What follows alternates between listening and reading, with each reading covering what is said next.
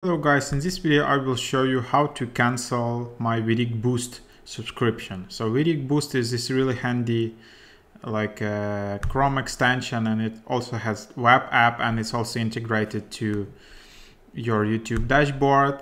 So to cancel it, you need to go here to app.vidiq.com and log in with your uh, YouTube account. So you can cancel it from here. If you go to upgrade and here you can see all the plans so as you can see here, these are the features.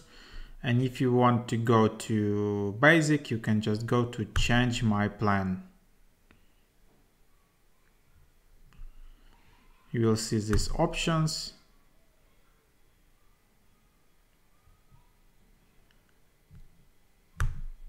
And then you will see all these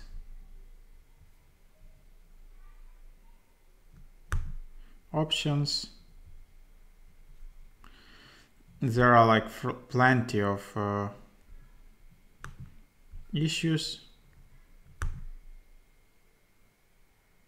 And here you will see that your your plan was cancelled and the cancellation will take effect after your the your billing period which ends here. So even before that you will be able to have all the boost features.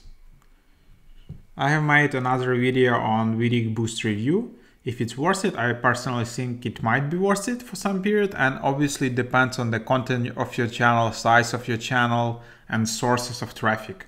So if your channel depends a lot on like YouTube search traffic, SEO traffic, then probably you might need vidIQ Boost to do some adjustments and to boost your YouTube SEO. But that's it, another video. Thanks for watching.